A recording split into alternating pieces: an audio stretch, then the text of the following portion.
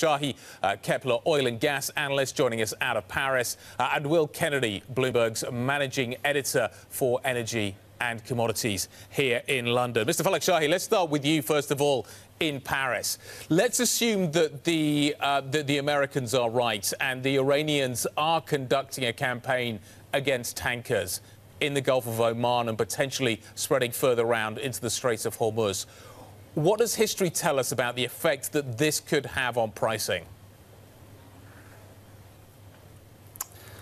Uh, thanks for having me, Guy, uh, first of all, uh, and hello. Um, I mean, as you said, you know, it's not the first time that we, are seeing tension, tensions between uh, Iran and, and the U.S in the region. In the past, we've seen Iran uh, many times, um, you know, uh, come up with threats that it could close the, the Strait of Hormuz.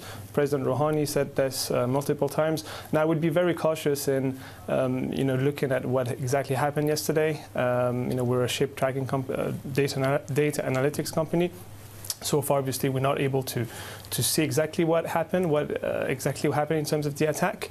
Uh, so I'd be very cautious in, in terms of this. What's really, I think what really matters is the fact that uh, this happened just 130 kilometers away from the Strait of Hormuz, where uh, last month in May, 45% of the global seaborne oil trade passed through.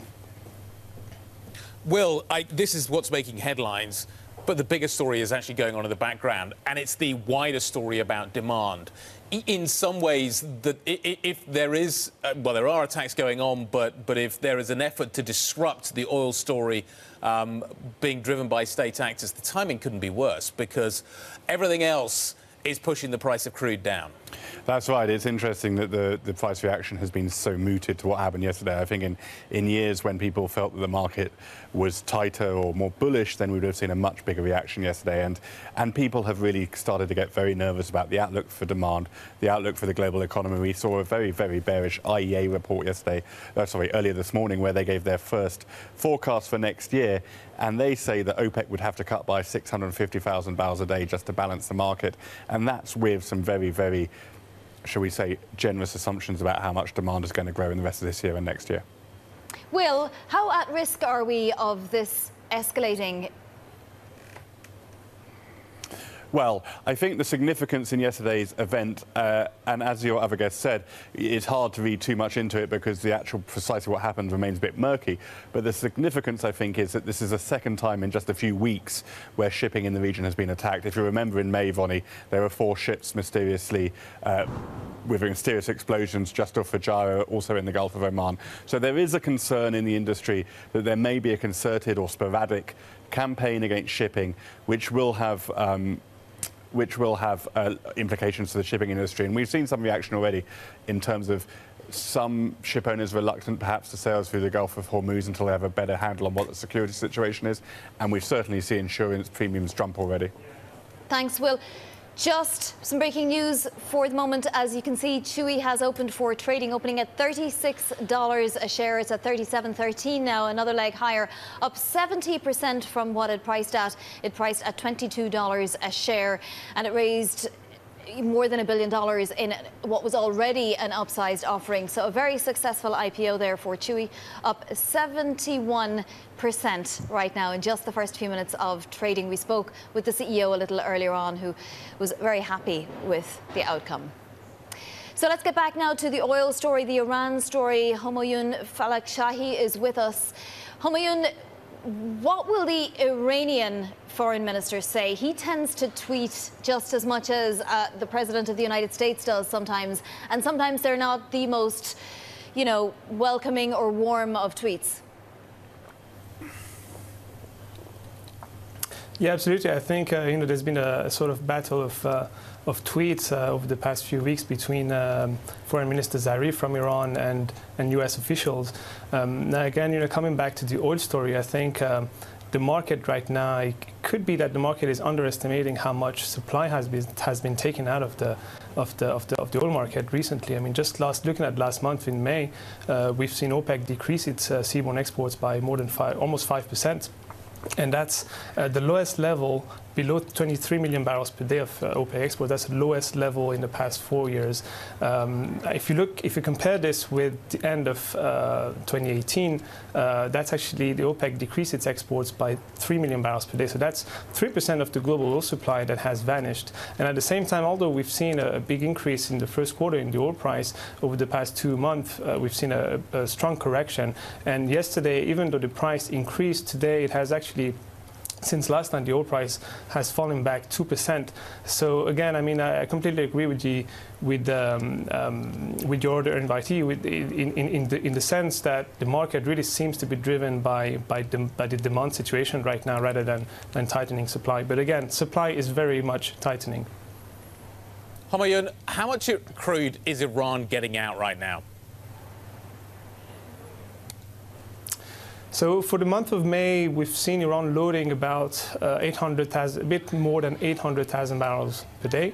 Uh, and that's a bit less than 500,000 barrels per day, less than, than, the, than the previous month in, in April.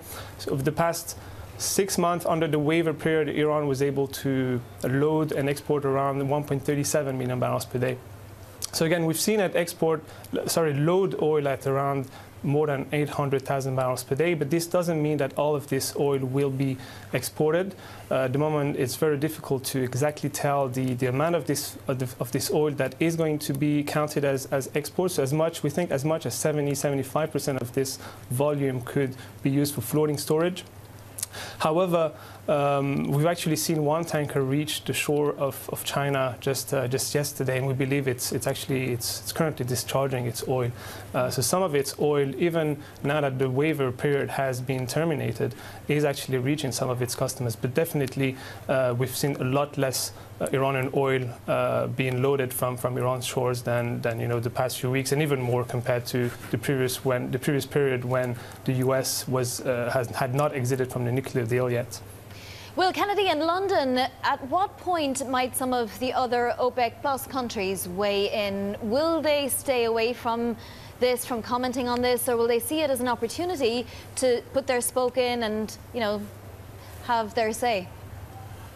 Yeah, this comes at a delicate moment in relations between Iran and some other OPEC members, uh, Vonnie. I mean, in particular, there's a lot of tension between Saudi Arabia and Iran. And uh, without naming names, uh, Khalid Al-Falih, the Saudi oil minister, was quick to condemn yesterday's attack um, after you know, as well he might, because most of his oil travels outside the Straits of Hormuz. But that's absolutely right. And we're working towards an OPEC meeting, and we don't know when it's going to happen because the Saudis and the Iranians can't even agree the date. So it's going to there's some big policy decisions for OPEC to meet to make in the months ahead, especially if the uh, demand outlooks turns for the worse, and that's going to be hard with the tensions between Saudi Arabia and Iran on a political level.